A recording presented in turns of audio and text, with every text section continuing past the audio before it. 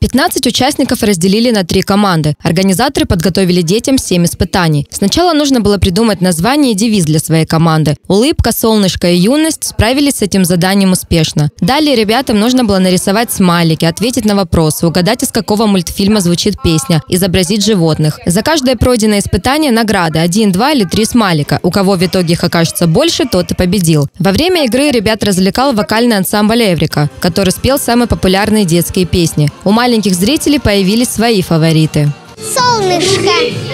Солнышко, почему?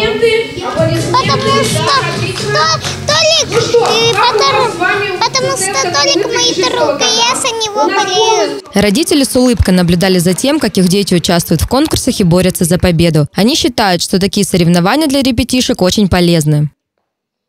Для развития как-то, для более, чтобы они были смелее, активнее, как-то больше познавали. Если что-то они не знают какие-то вопросы, потом я думаю, что они начнут какие-то больше смотреть или мультфильмы, или еще что-то и так интересоваться. развивают, общаются, веселятся, улыбаются. Участники состязаний ответственно подходили к каждому заданию. Все команды хотели стать победителем. Ну, стараемся победить. Стараемся, мы верим в нашу команду, то, что мы победим. Потому что мы самая дружная команда в мире.